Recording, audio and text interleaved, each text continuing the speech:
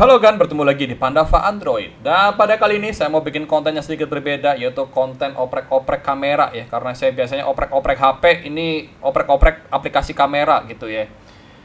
Dan teman-teman pasti tahu lah ya, selain aku tuh hobi main game, teman-teman tuh juga tahu banget gitu ya. Biasanya aku tuh suka banget naik gunung ataupun touring gitu ya. Ya walaupun sedikit yang tahu, tapi yang tahu ya pasti tahu gitu ya. Ya, gitulah pokoknya gitu ya. Dan pada kesempatan kali ini saya mau coba oprek-oprek aplikasi kamera nih di Android ya. Karena aku tuh suka naik gunung, suka motoran gitu ya. Terkadang tuh ada momen atau pemandangan yang bagus gitu ya. Tapi sayangnya kualitas kualitas foto saya ini kadang bapuk gitu ya. Untungnya di Android tuh ada Gcam teman-teman ya. Di mana aplikasi ini bisa meningkatkan kualitas foto dan video kita gitu ya. Dan pada konten ini, uh, saya akan coba untuk mencari kamera termantap atau Gcam termantap ya untuk Redmi Note 8 ini. Dan mungkin bisa digunakan di device lain. Jadi buat teman-teman yang mau coba, langsung aja digaskan gitu ya. Dan di sini, sebelum saya mulai videonya, saya intro terlebih dahulu.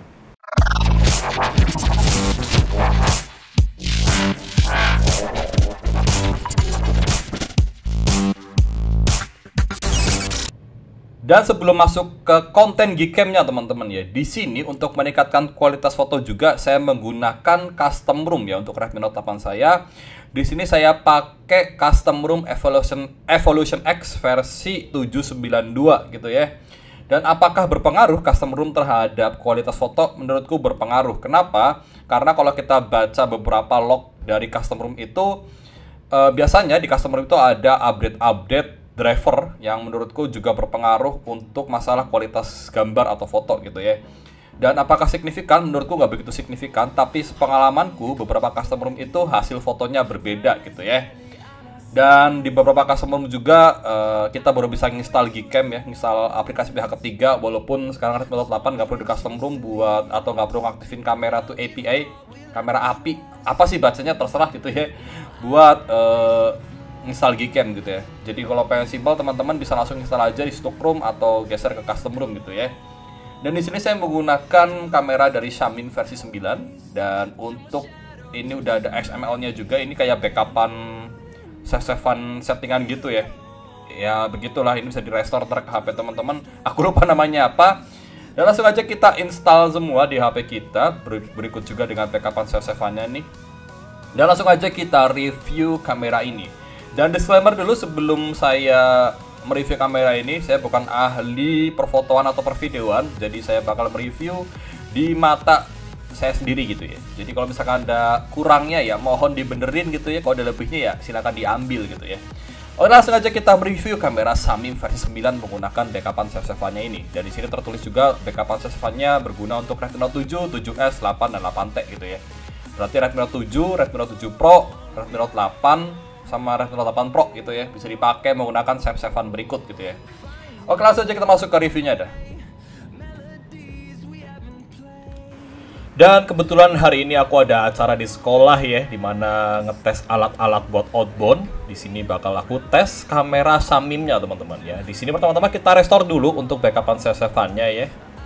Di sini kita import nih uh, save-savean dari link yang tadi. Dan di sini saya menggunakan tripod dan settingan AWB-nya on ya. Di sini kita bisa lihat ya untuk kamera utamanya aja untuk kamera biasanya. Uh, sayangnya nggak ada makro ya, cuma ada foto biasa sama zoom dua kali. Jadi buat teman-teman suka makro kayaknya nggak cocok ya. Dan berikut adalah hasil foto yang dihasilkan dari kamera Samyang ini teman-teman. Oke teman-teman, sebelum kita ngomongin hasil gambar ya, jadi di sini kita lihat dulu ya untuk hasil foto dari kamera Samyang ini rata-rata itu di 3 mega teman-teman ya. Dan untuk fiturnya sendiri di sini sayang banget sekali lagi aku bilang nggak ada fitur makro ya. Jadi buat teman-teman bentar kenyang dulu nih. Jadi buat teman-teman yang suka foto-foto pakai makro, uh, kayaknya pakai kamera Samyang kurang cocok ya. Tapi ngomongin fiturnya, overall jalan semua ya. Di sini uh, hasil foto yang pertama ini pakai settingan ABB sekali lagi auto white balance ya. Aku onin untuk hasilnya aku suka banget warnanya uh, kerasa natural gitu nggak ada yang warm berlebih atau bagaimana dan ini adalah hasil foto uh, kamera yang dua kali zoom nah di sini masih kelihatan detail banget aku suka nggak biasanya kalau ada kalau kamera-kamera Gcam yang lain gitu ya nggak semua sih tapi ada gitu yang kalau pakai fitur dua kali zoomnya gitu rata-rata uh, langsung pecah gitu. Tapi di sini bisa kita lihat ini dua kali zoom biasa.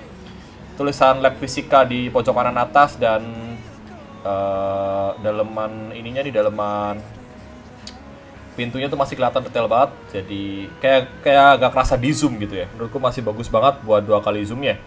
Dan di sini uh, untuk foto potretnya juga aku suka uh, di mana gak lebay untuk ngeblurnya gitu ya. Ini foto di mejaku tentunya ya. Dengan ini meja kerjaku ya, lagi garap HP juga dan iseng aja gitu pengen nyobain mode potretnya. Dan di sini aku suka banget uh, blurnya nggak lebay, terasa natural uh, dan lumayan detail juga ya, di mana kotoran bukan kotoran sih, catnya mulai ngelupas di RDA Fabku nih kelihatan gitu bintik-bintik kecil gitu ya. Gak tau kalau di YouTube ini kompres atau enggak, tapi di sini kelihatan ajib banget gitu ya. Gak ajib banget sih, tapi bagus gitu potretnya. Dan di sini juga untuk fitur uh, fitur dari panoramanya kita bisa lihat juga di sini berjalan. Cuman sayangnya uh, aku kurang pandai gitu ya ngefoto panorama, jadi mohon maaf gitu ya. Uh, berikutnya adalah foto panoramanya teman-teman. Panorama sama apa sih tadi? Uh, bentar aku cek dulu nih. Iya foto panorama nih. Nah ini untuk fitur panoramanya uh, berjalan dengan bagus cuman ya balik lagi ya skillku sebagai tukang foto emang kadang kurang gitu ya. Nah ini dan sekali lagi uh, lumayan detail juga untuk hasil panoramanya. Ini aku pakai tripod ya, jadi aku gerakin doang gitu tripodnya. Dan ngomongin hasil kameranya, uh, di sini kita bakal lihat langsung aja ya. Di sini di kameranya juga ada fitur time lapse dan slow motion, di mana menurutku semuanya berjalan normal, gak ada yang spesial, gak ada yang ini juga ya, gak ada yang gimana-gimana gitu ya. Dan audionya pun juga kerekam dengan jarak yang cukup jauh, tapi ya baik lagi ya kamera HP uh, mikrofon HP sorry maksudku jadi jangan berharap kualitas suara yang bagus gitu ya. Kecuali kalau teman-teman pakai mic yang uh, mic uh, tambahan lah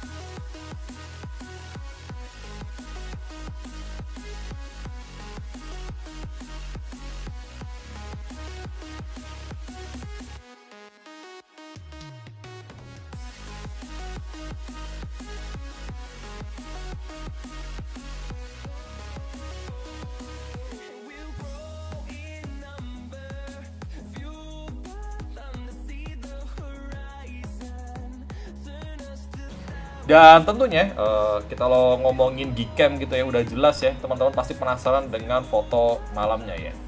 Jadi langsung aja kita di sini bakal ubah dulu langitnya ke cuaca malam. Eh ke cuaca malam sih, ke waktu malam. Oke, kita ke malam hari dulu teman-teman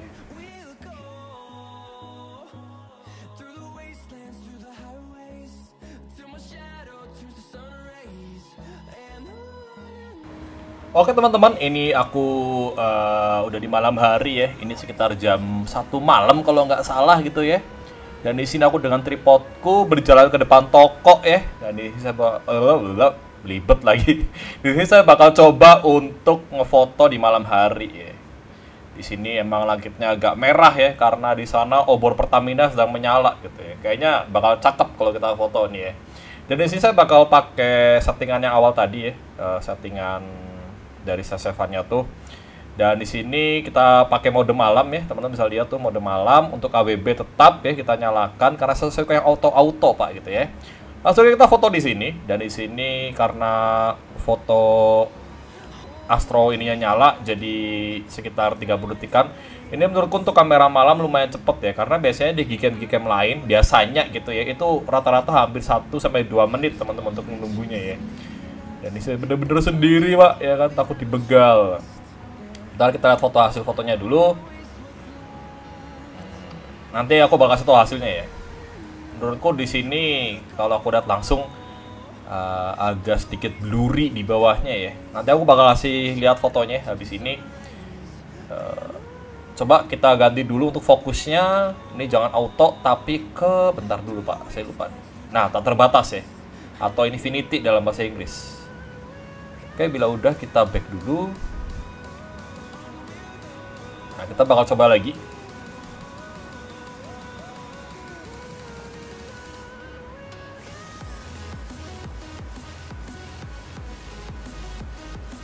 Ya, ternyata di sini astronominya aku matiin, langsung ngejeprek dia ya.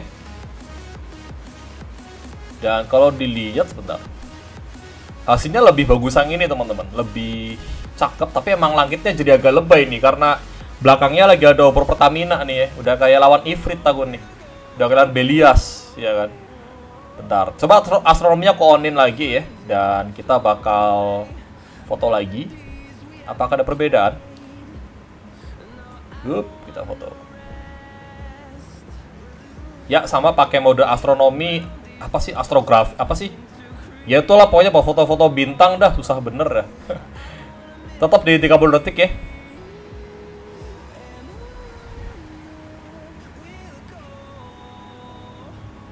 Kita tunggu aja. Dan di aku bakal lihat hasilnya dulu. uh, ya langitnya emang kelihatan sedikit lebay sih kalau pakai mode astro apa sih astro fotografi ya lupa aku namanya sial ya astro fotografi betul dan aku pengen cek Google dulu lagi. Nah coba ya aku pengen coba mode foto astro fotografi tapi ke jalan raya teman-teman. Di mana langitnya yang bersih nih gak ada merah-merahnya. Kita bakal coba dulu. Dan ternyata di sini karena ada lampu dari neon box itu lebih cepat ya waktunya ya. Kita geser dulu. Ntar bakal kasih hasilnya pokoknya. Ini kok ada bintang, cakep sih teman-teman si langitnya. Sayangnya nggak ada bintang, jadi nggak ada yang ke foto bintangnya no. Sepi langitnya. Oke kita bakal kasih dulu perbandingan ya. Coba deh foto sekali lagi. Sana neon boxnya rame bener bos. Oh ini ada mobil jajan. Aduh bentar dulu pak. Foto dulu kita. Nah. Kita lihat hasilnya.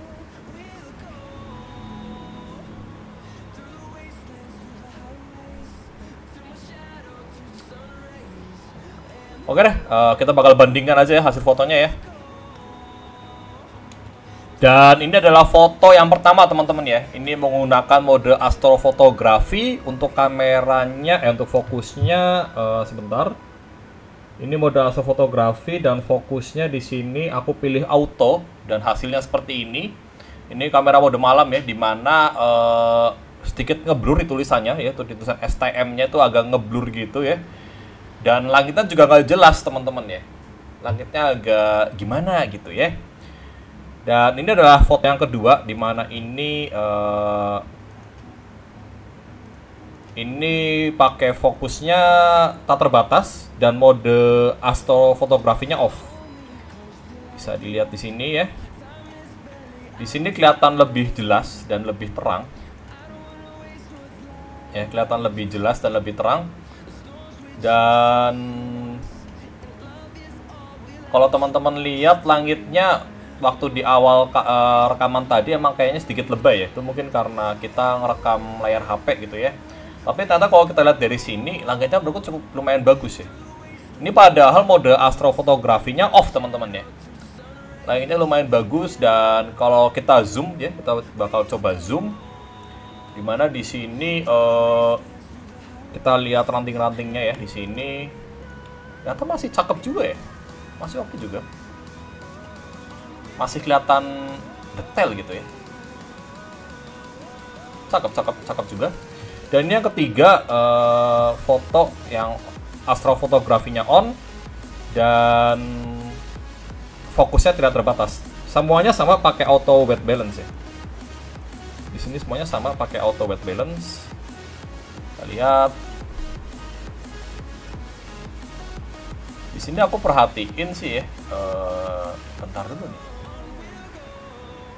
Kayak gak ada perbedaan gitu ya tapi kalau kita lihat sesama ini nggak tahu ya di YouTube kelihatan atau enggak di bagian langit emang bagusan punya astrofotografi sih. Ini yakin kalau aku ada bintang gitu ya kalau ada bintang uh, kayaknya bakal kelihatan sih teman-teman ya nggak detail banget bintangnya paling nggak kelihatan titik-titik putih gitu ya. Dan ini semuanya settingannya sama semua ini astrofotografi on. Terus buat uh, fokusnya nggak terbatas semua ya. Emang hasil cahaya malam juga eh resource cahaya juga berpengaruh sih teman-teman sih. Resource cahaya juga berpengaruh soalnya. Resource source ya sumber cahaya lah susah bener. Ya di sini emang tadi ini yang ke tolong neon box ya. Jadi sedikit cerah dan di sini kita coba zoom gitu ya. Apakah sedetail itu? Aku penasaran juga masalahnya kita coba zoom. Hup. cakep sih. Cakep kalau aku bilang dan ini satunya lagi yang foto tadi ada mobil ya. Ngeri bener tadi.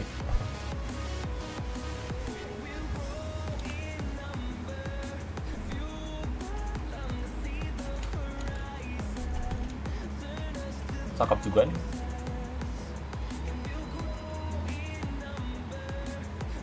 Sayangnya ini emang agak langitnya emang agak banyak awan ya. Gak ada bintangnya kalau ada bintangnya mungkin kelihatan ya ya inilah ya hasil kamera malamnya ya. Jadi menurutku kamera malamnya juga lumayan bagus ya walaupun kalau misalkan di setting fokusnya otomatis agak sedikit gimana gitu liatnya ya. Tapi ya kalau ternyata kalau kita ganti fokusnya ke tak terbatas jadi agak mendingan teman-teman ya. Uh, ya menurutku lumayan bagus kameranya walaupun ya di beberapa titik ya nggak tahu ini mungkin faktor langitnya juga teman-teman ya di mana langitnya lagi merah begini tuh karena Pertamina lagi nyala teman-teman ya. Pertamina lagi nyala nih bos. Jadi kelihatan merah begitu ya. Tapi nggak apa-apa. Overall bagus semuanya overall bagus buat kamera malamnya cakep. Dan menurut teman-teman gimana nih hasil kamera malamnya?